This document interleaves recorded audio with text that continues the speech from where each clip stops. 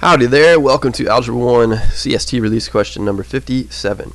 It says if x squared is added to x, the sum is 42. Which of the following could be the value of x? And so let's make an equation out of this statement first, this sentence. We have if x squared is added to, so that plus x, it says the sum is or equals 42. So this is a valid equation based on the first sentence that's given to me. Now I could subtract 42 from both sides and I'd be left with this. You might say, well, why are you doing this, Mr. Wagner? I don't see where you're going with this.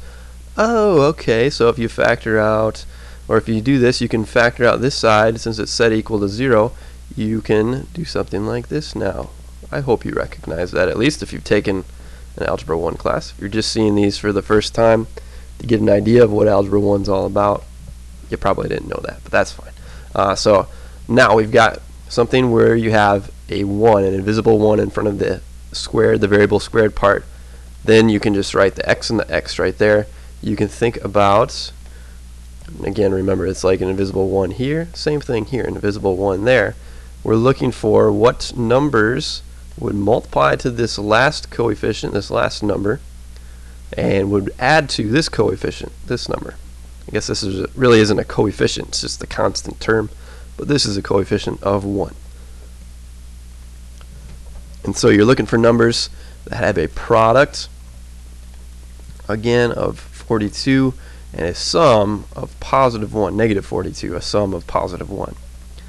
And so what's the combination going to be? I know 6 and 7 are going to multiply together to get 42. So if I put a 6 here and a 7 here, one of them has to be negative, though, to get a negative 42. Which one should be negative? Well, remember, you want to sum a positive 1, so the smaller number should be the negative number. Negative 6 times 7 gives you 42, negative 42. Negative 6 plus 7 gives you positive 1. So we can fill in our, our blanks now with a negative 6 and a positive 7. From there, what you're really saying here is that you can have this term or this binomial times this one equal to zero. Excuse me. Pardon me. Hmm. so x minus 6 x plus 7 you can have this term. If this term this binomial factor was equal to 0 0 would become this whole thing in parentheses times it wouldn't matter what you had here in parentheses because 0 times whatever this is would still be 0 the zero product property is kind of what a lot of books will refer to this as. You could also have this factor equal to 0. If x plus 7 altogether was 0, this whole set of parentheses would be 0, and 0 times, who cares what that is now, 0 times whatever that is would still equal 0. So really you have two equations here that can give you an answer. You can have x minus 6 could be equal to 0, because that would make this whole thing 0, which would make this times that still equal to 0, you could have x plus 7 equal to 0. And so now we just need to solve both of these for x. A lot of you are probably going to get very good if you're not good already at ones like this. You can, I think, very simply see that 6 makes the left factor 0 and negative 7 makes the right factor equal to 0.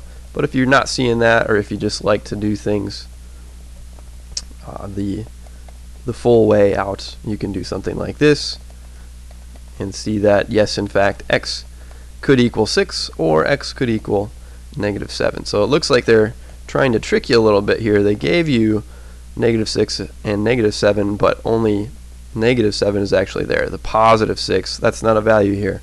So we're not going to use that one. So it's negative 7. That's a possibility. Both of these are possibilities. If you plug your numbers back in up here, negative 7 squared is 49. Minus 7 would be 42.